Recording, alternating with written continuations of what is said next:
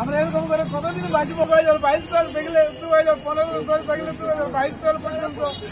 আমাদের কেউ নেই স্যার কেউ নেই, আমাদের কাগজ কলম শুধু বাকি কিছু নেই। কতদিন রাজি বলে আই এম চ্যালেঞ্জ তোরা কাটবো যথা কাগজ স্যার ছেলে লেখাপড়া, স্কুল পাত ইয়া হয়ে যাচ্ছে। আমার ছেলেপড়া লেখাপড়া সব ইয়া হয়ে গেল। একটা কাপড় জামা পরে আমরা কতদিন থাকব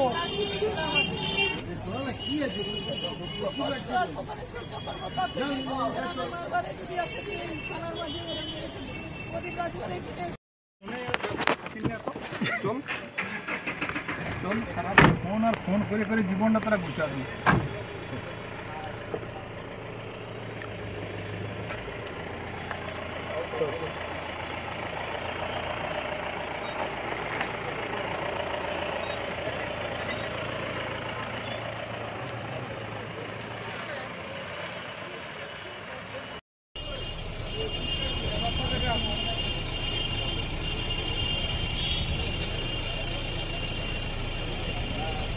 ঠিক আসো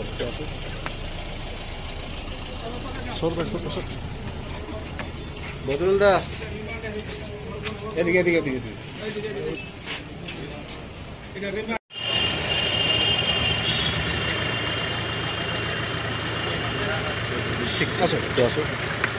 আমার দুহাজার পনেরো সালে আমাদেরকে ওরা পাড়ার লোক মারধর করে পাড়ার থেকে বের করে দিয়েছিল। ডাইনি অপবাদ আমার মাকে, আমার বাবাকেও মারামারি করেছিল। তারপরে দু হাজার পনেরো সাল থেকে পুলিশ সাত বছর থেকে পুলিশ আমাদেরকে প্রশাসন আমাদেরকে ঘরে পৌঁছাইছিল। পুলিশ প্রশাসন আমাদেরকে পঁচিশ, এক মাসের মতন পাহারা ছিল। তারপরে পুলিশ প্রশাসন যখন চলে গেল, তারপর আমাদের উপর আরও অত্যাচার হয়। ঘরে ঢিল ফাবড়ায়, কপাট ভেঙে দেয়, উনান ভেঙে দেয়। ওরা আমার মাকে কেন ডাইনি বলছে, এটা আমি প্রমাণ চাই। এবং আমার আমার মা বাবা এইখানে আজ পাঁচ বছর ধরে নাই। বোনের বাড়িতে ওরা পালাই আছে, মাকে মেরেছে, বাবাকে মেরেছে, আমার ছেলে পুলে সবাইকে মেরেছে। আমার ভয়ে আমরা আসতে পারছি না।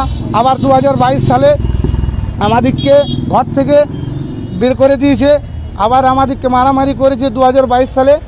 আবার আমাদেরকে ঘরলে বের করে দিয়েছে। সোমবার সোমবার থেকলে সোমবার থেকলে কোথায় থাকো কোথায় থাকো আমরা স্যার এখন হসপিটালে ছিলাম স্টেশনে ছিলাম তারপরে দুদিন মিলে পিসি বাড়িতে ছিলাম। থানা কি জানিয়েছেন আপনারা? থানাতে আমরা জানাইছি থানাতে বড় বাবু থানার বড় বাবুকে আমরা জানাইছি। জানার পরে আমাদেরকে ওর ভাই প্রদীপ রাজওয়ার এসে নিয়ে ওর নাম আমরা কোনো কিছু দিই নাই কিন্তু ও এসে নিয়ে বলল যে তোরা তোদের খেজুরে ডাঙাতে রহার আছে না নাই? তোরাকে মরাবো এবারে মেরে। এখন তাকে অ্যারেস্ট করেছে। পুলিশ তো এখন তাকে অ্যারেস্ট করেছে। এক লোককে অ্যারেস্ট করেছে খালি বানেশ্বর অভিযোগ? আমার ও প্রদীপ রাজুয়ার বানেশ্বর রাজুয়ার তারপর আপনার ওই, গোপী রাজুয়ার আমরা স্যার যে আমরা ওদের সাজা কোনো একটা সাজা হয় কি আমাদের এটা কোনো ইয়া হয় মীমাংসা হয়। আমার নাম রঞ্জিত মোদক।